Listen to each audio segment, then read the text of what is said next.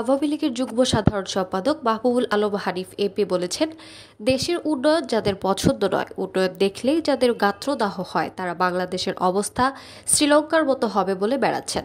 যারা শ্রীলঙ্কার স্বপ্ন দেখছেন, এর আগে তারা মিশর নিয়েও স্বপ্ন দেখেছেন।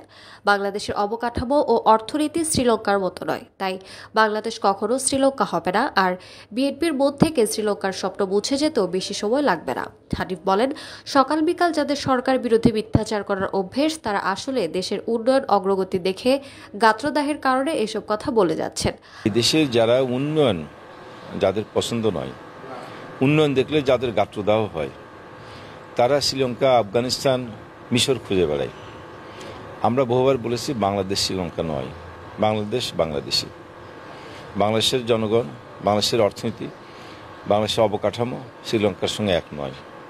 অতএব যারা শ্রীলঙ্কার স্বপ্ন দেখছে এরা কিন্তু এর আগে মিশরকে নিয়ে স্বপ্ন দেখেছিল। আরব বসন্তের নিয়ে স্বপ্ন দেখেছিল। তাদের সেই স্বপ্ন খুব মিলিয়ে যেতে বেশি সময় লাগে নাই।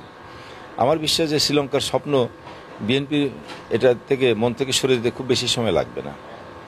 এটা বর্তমানে মাননীয় প্রধানমন্ত্রী বঙ্গবন্ধু জয়ন্তী শেখ হাসিনার নেতৃত্বে দেশের যে উন্নয়ন অগ্রগতি হয়েছে এবং উন্নয়নের যে ধারা আছে অব্যাহত এই যে ধারার মাধ্যমে আজকে বাংলাদেশ চরম দরিদ্র দেশ থেকে উন্নয়নশীল রাষ্ট্র হিসেবে আমরা গ্র্যাজুয়েশন অর্জন করেছি।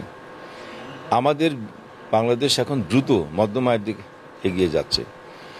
এত সংকটের মধ্যে দুই বছর প্যান্ডামিকের করোনাকালীন দুর্যোগ এবং তারপরে ইউক্রেন রাশিয়ার যুদ্ধের মধ্যে সারা বিশ্বে যখন অর্থনৈতিক সংকট। তার মধ্যেও কিন্তু আমাদের অর্থনৈতিক গতি অব্যাহত আছে। এরপরও যাদের এই সরকার বিধি সকাল বিকাল মিথ্যাচার করে বলার অভ্যাস। এরা আসলে দেশের উন্নয়ন অগ্রগতি দেখেই তাদের গাত্রদাহের কারণে এই কথাগুলো বলে যাচ্ছে। সকাল দশটায় কুষ্টিয়ায় নিজ বাসভবনে সাংবাদিক রুবেল হত্যার বিষয়ে জেলার সর্বস্তরের সাংবাদিকদের সাথে মতবিনিময়কালে তিনি এসব কথা বলেন। এ সময় তিনি বলেন সাংবাদিক রুবেল হত্যার মামলা পিবিআইতে দেবার জন্য স্বরাষ্ট্র মন্ত্রণালয়ে বলা হয়েছে। একজন সাংবাদিক যে কিছুদিন মিসিং ছিল পরবর্তীতে তার ডেড বডি পাওয়া গেছে।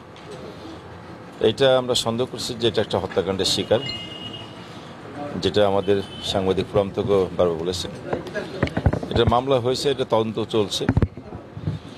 আমরা এই মামলাটার সুষ্ঠু তদন্ত এবং দ্রুত এই মামলা তদন্তের মাধ্যমে প্রকৃত দোষীকে শনাক্ত করে আইনের আওতায় নিয়ে আসার জন্য মামলাটা আমরা পিবিআইকে হস্তান্তরের জন্য স্বরাষ্ট্রমন্ত্রীকে বলা হয়েছে, অনুরোধ করেছি।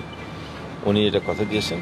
এই মামলাটা দ্রুত পিবিআইতে যাবে এবং আমরা বিশ্বাস করি যে পিবিআই তদন্তের মাধ্যমে খুব অল্প সময়ের মধ্যেই এই মামলার রহস্যটা উদ্ধারণ করতে সক্ষম হবে এবং এর সঙ্গে যারা জড়িত, তাদেরকে আইনের আওতায় আনতে সক্ষম হবে।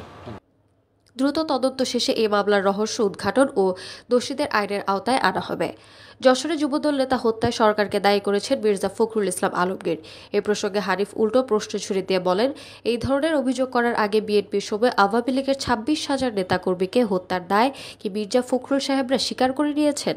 এ সময় কুষ্টিয়া জেলা আওয়ামী লীগের যুগ্ম সম্পাদক প্রকৌশলী ফারুকুজ্জামান, শেখ হাসান মেহেদি, তথ্য ও গবেষণা সম্পাদক রাশিদুল ইসলাম বিপ্লব সহ জেলার সর্বস্তরের সাংবাদিকরা উপস্থিত ছিলেন।